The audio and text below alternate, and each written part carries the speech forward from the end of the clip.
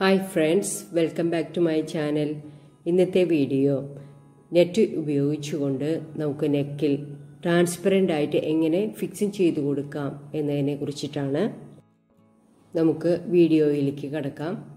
ഇവിടെ തുണി എടുത്തിരിക്കുന്നത് ഒന്നര മീറ്റർ നീളവും ഒന്നര മീറ്റർ വീതിയുമുള്ള ഒരു സ്ക്വയർ തുണിയാണ് എടുത്തിരിക്കുന്നത്. ഇവിടെ യോക്കിന് വേണ്ടി എൺപത് പോയിന്റ് ഉള്ള നെറ്റ് ഫാബ്രിക്കാണ് ഉപയോഗിക്കുന്നത്. ഒരു ചാർട്ട് പേപ്പർ എടുക്കാം. ചാർട്ട് പേപ്പർ ഇതുപോലെ രണ്ടായി മടക്കിയെടുക്കാം. അതിനുശേഷം മുകൾ ഭാഗത്ത് ഷോൾഡർ പോയിന്റ് മാർക്കിംഗ് ചെയ്യാം. ഷോൾഡർ പോയിന്റ് ആറര ഇഞ്ചാണ് മാർക്കിംഗ് ചെയ്യുന്നത്.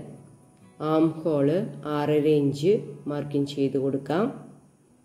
എന്നിട്ട് ഈ പോയിന്റുകൾ ജോയിൻ ചെയ്യാം.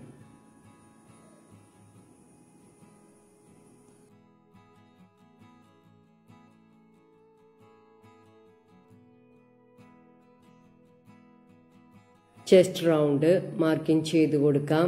ഇവിടെ പത്തര ഇഞ്ചാണ് മാർക്കിംഗ് ചെയ്തത്. ഇനി ആം ഹോൾ ഷേപ്പിംഗ് ചെയ്യുന്നതിന് വേണ്ടി ഫ്രണ്ട് ഭാഗം വൺ ഇഞ്ച് മാർക്കിംഗ് ചെയ്ത് കൊടുത്തു. ഇനി നമുക്കൊന്ന് ഷേപ്പിംഗ് ചെയ്ത് കൊടുക്കാം. ഇതുപോലെ ഇവിടെ നിന്ന് ഷേപ്പ് ചെയ്ത് നേരത്തെ പത്തര മാർക്കിംഗ് ചെയ്തിട്ടുണ്ടല്ലോ. ആ പോയിന്റിലോട്ട് നമുക്ക് മുട്ടിക്കാം. നെക്ക് മാർക്കിംഗ് ചെയ്ത് കൊടുക്കാം. നെക്ക് വിട്ട് നാലര ഇഞ്ചാണ് എടുത്തിരിക്കുന്നത്. അതുപോലെ തന്നെ താഴെ ഭാഗത്തേക്ക് നാല് ഇഞ്ച് എടുക്കാം. എന്നിട്ട് ഈ പോയിന്റ് ജോയിൻ ചെയ്യുക.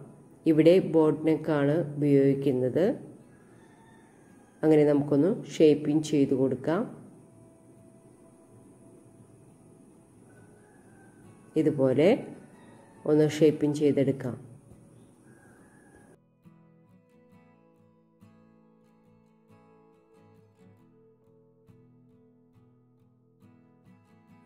ഇനി മുകളിൽ നിന്ന് താഴേക്ക് ലെങ്ത്ത് മാർക്കിംഗ് ചെയ്ത് കൊടുക്കാം. ഇവിടെ പതിനഞ്ച് ഇഞ്ചാണ് എടുത്തിരിക്കുന്നത്. പതിനഞ്ച് ഇഞ്ചിന്റെ കൂടെ നമുക്ക് ഒരു ഇഞ്ചും കൂടി കൂടുതൽ സീം അലവൻസിന് വേണ്ടി എടുക്കാം. എന്നിട്ട് മാർക്കിംഗ് ചെയ്തെടുക്കാം.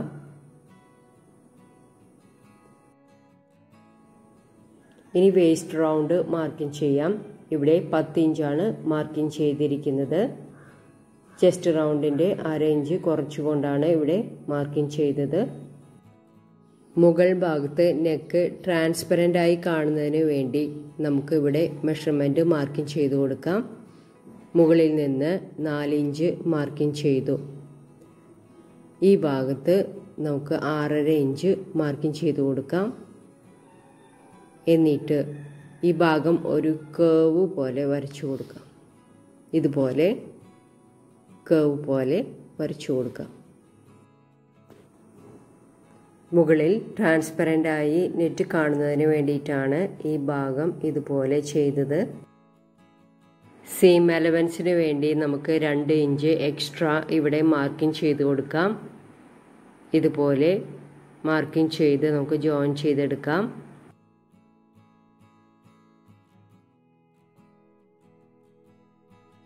താഴെ ഭാഗത്ത് ഷേപ്പിംഗ് ചെയ്യുന്നതിന് വേണ്ടി നേരത്തെ വൺ ഇഞ്ച് എക്സ്ട്രാ വരച്ചിട്ടുണ്ടല്ലോ. ആ ഭാഗത്ത് നിന്ന് നമുക്ക് സെന്ററിലോട്ട് ഇതുപോലെ ചരിച്ച് വരച്ചു കൊടുക്കാം.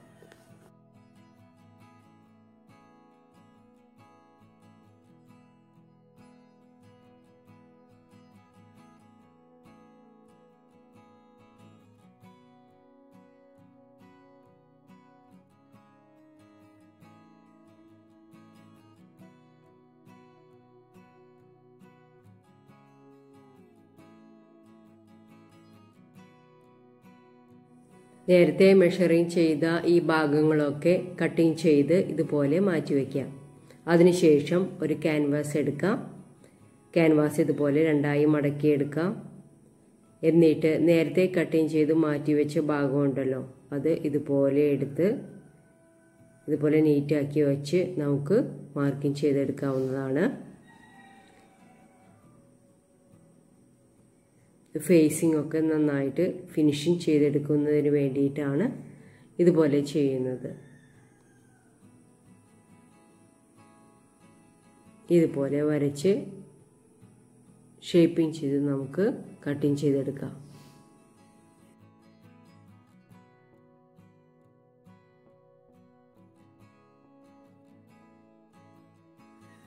ക്യാൻവാസ് നമുക്ക് ഒരു തുണിയിൽ അയൺ ചെയ്ത് ഫിക്സിങ് ചെയ്തെടുക്കാം.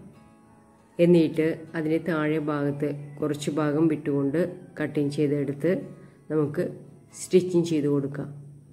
ഇനി അംബർല സ്കേർട്ടിന് വേണ്ടി തുണി ഇതുപോലെ രണ്ടായി മടക്കിയെടുക്കാം. മടക്കിയെടുത്ത് തുണി ക്രോസ് പോലെ ഇട്ട് കൊടുക്കാം. ഇതുപോലെ ചെറുതായിട്ട് ചരിച്ചു വെച്ചുകൊണ്ട് നമുക്ക് ക്രോസിങ് ചെയ്തെടുക്കാം. തുണി വളരെ കുറവായതുകൊണ്ട് ശ്രദ്ധിച്ചിട്ട് വേണം ഇതുപോലെ ചെയ്തെടുക്കാനായി. ഇനി മുകൾ ഭാഗത്ത് നമുക്ക് വേസ്റ്റ് റൗണ്ട് ഇതുപോലെ നേരത്തെ കട്ടിങ് ചെയ്തു വെച്ച പാറ്റേൺ ഇതുപോലെ വെച്ചുകൊണ്ട് നമുക്ക് മാർക്കിംഗ് ചെയ്തെടുക്കാം. താഴെ ഭാഗത്ത് ഇതുപോലെ മാർക്കിംഗ് ചെയ്തു. അവിടെ നിന്ന് നമുക്ക് ലെങ്ത്ത് മാർക്കിംഗ് ചെയ്തെടുക്കാം. ഇവിടെ മുപ്പത്തിനാല് ഇഞ്ചാണ് എടുത്തിരിക്കുന്നത്. അതിവിടെ മാർക്കിംഗ് ചെയ്തെടുത്തു. ആദ്യം അംബ്രല സ്കേർട്ട് കട്ടിങ് ചെയ്ത് മാറ്റി വെച്ചതിന് ശേഷമാണ് യോക്കിനുള്ള തുണി കട്ടിങ് ചെയ്തെടുക്കേണ്ടത്. ഇവിടെ തുണി വളരെ കുറവായതുകൊണ്ട് ആദ്യം സ്കേർട്ട് കട്ടിങ് ചെയ്തതിന് ശേഷം മാത്രമേ യോക്ക് കട്ടിങ് ചെയ്യാൻ പാടുകയുള്ളൂ. സ്കേർട്ട് കട്ടിങ് ചെയ്യുമ്പോൾ താഴെ ഭാഗത്ത് അടിയിൽ കുറച്ച് ഭാഗം നമുക്ക് അറ്റാച്ച് ചെയ്ത് കൊടുക്കണം. അത് നേരത്തെ കട്ടിങ് ചെയ്ത് വെച്ചിരിക്കുന്ന തുണിയുണ്ടല്ലോ അത് ഇതുപോലെ എടുത്ത് കട്ടിങ് ചെയ്തെടുത്തതിന് ശേഷം നമുക്ക് ജോയിൻ ചെയ്തെടുക്കാം. ഇനി നമുക്ക് മുകൾ ഭാഗത്തെ യോക്ക് ഇതുപോലെ ഫിനിഷിങ് ചെയ്തെടുക്കാം. ഫേസിങ് ഫിനിഷിങ് ചെയ്തു. എന്നിട്ട് ഈ തുണി ഇതുപോലെ നിവർത്തി വെച്ചതിന് ശേഷം നമുക്ക് നേരത്തെ കട്ട് ചെയ്ത് വെച്ച പാറ്റേൺ ഉണ്ടല്ലോ ആ പാറ്റേൺ ഇതുപോലെ മുകൾ ഭാഗത്ത് വെച്ച് ഷേപ്പിംഗ് ചെയ്തെടുക്കാം. ഔട്ട്ലൈൻ വരയ്ക്കുമ്പോൾ തുണി യോക്കിൽ തികഞ്ഞിട്ടില്ലെങ്കിൽ നമുക്ക് എക്സ്ട്രാ തുണി ജോയിൻ ചെയ്തിട്ട് വേണം ഇതുപോലെ ഔട്ട്ലൈൻ ചെയ്തെടുക്കുവാനായിട്ട്.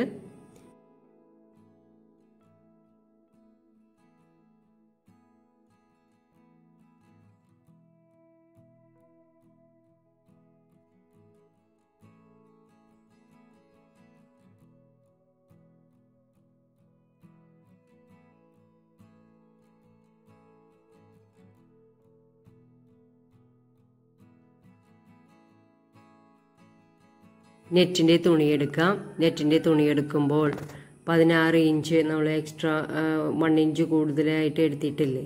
ആ പതിനാറ് ഇഞ്ച് ലെങ്ത്ത് അവിടെ ഉണ്ടോ എന്ന് ചെക്കിങ് ചെയ്തിട്ട് വേണം തുണി എടുക്കുവാനായിട്ട്.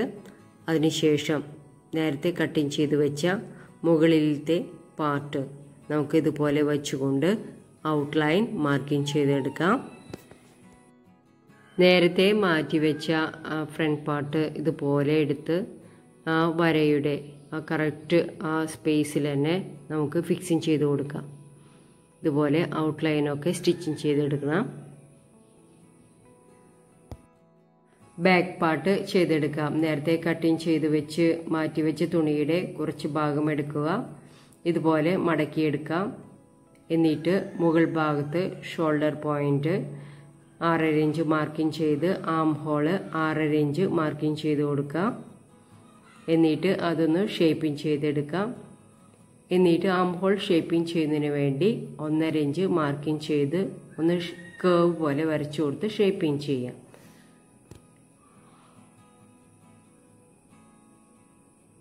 നെക്ക് ഇതുപോലെ വിടുത്ത് നാലര ഇഞ്ച് എടുത്ത് ലെങ്ത്ത് മൂന്ന് ഇഞ്ച് എടുത്ത് ഇതുപോലെ ബോട്ട് നെക്ക് മാർക്കിംഗ് ചെയ്ത് കൊടുക്കാം. ഇതുപോലെ താഴെ ഭാഗത്തും സൈഡിലും എക്സ്ട്രാ സീം അലവൻസ് ഒക്കെ പാറ്റേൺ വെച്ച് മാർക്കിംഗ് ചെയ്ത് കട്ടിങ് ചെയ്ത് മാറ്റി വയ്ക്കാം പുറകിലും തുണി ട്രാൻസ്പെറന്റ് ആയി കാണുന്നതിന് വേണ്ടി നേരത്തെ ഫ്രണ്ട് ഭാഗം കട്ടിങ് ചെയ്ത് മാറ്റി വെച്ചിട്ടുണ്ടല്ലോ. ആ പാറ്റേൺ എടുത്തുകൊണ്ട് നമുക്ക് ആ ഷേപ്പ് ഒന്ന് വരച്ചു കൊടുക്കാം. ഇതുപോലെ ഒന്ന് ഷേപ്പ് ചെയ്യുക. എന്നിട്ട് അത് കട്ടിങ് ചെയ്ത് മാറ്റി വയ്ക്കാം ഈ ഭാഗം ഫേസിങ് അതായത് ക്യാൻവാസ് ഉപയോഗിച്ചുകൊണ്ട് ഫേസിങ് ചെയ്തെടുക്കാവുന്നതാണ്. എന്നിട്ട് ഫ്രണ്ട് പാർട്ട് ചെയ്യുന്നത് പോലെ തന്നെ ബാക്ക് പാർട്ടും ചെയ്തെടുക്കാം. ഇവിടെ സ്ലീവിന് വേണ്ടി തുണി രണ്ടായി മടക്കിയെടുക്കാം. രണ്ട് തുണികളും ഒരുമിച്ച് വെച്ചുകൊണ്ട് നമുക്ക് നല്ല വശം ഒരുമിച്ച് വെച്ചുകൊണ്ട് ഇതുപോലെ മടക്കിയെടുക്കാം. ഒരുമിച്ച് കട്ടിങ് ചെയ്യുന്നതിന് വേണ്ടിയിട്ടാണ് ഇതുപോലെ ചെയ്യുന്നത്. എന്നിട്ട് സ്ലീവ് ലെങ്ത്ത് മാർക്കിംഗ് ചെയ്ത് കൊടുക്കാം. ഇവിടെ സ്ലീവ് ലെങ്ത്ത് എടുത്തിരിക്കുന്നത് നാലര ഇഞ്ചാണ് അവിടെ മാർക്കിംഗ് ചെയ്തു. താഴെ ഭാഗത്ത് എട്ടര ഇഞ്ച് മാർക്കിംഗ് ചെയ്ത് കൊടുത്തു. സ്ലീവ് ക്യാപ്പിന് വേണ്ടി ഒന്നര ഇഞ്ച് മാറ്റി നിർത്തിക്കൊണ്ട് അവിടെ മാർക്കിംഗ് ചെയ്ത് കൊടുത്തു. എന്നിട്ട് നമുക്ക് ഒരു ലൈൻ വരച്ചുകൊണ്ട് ഒരു കേവ് പോലെ വരച്ച് സ്ലീവ് കട്ടിങ് ചെയ്തെടുക്കാവുന്നതാണ്.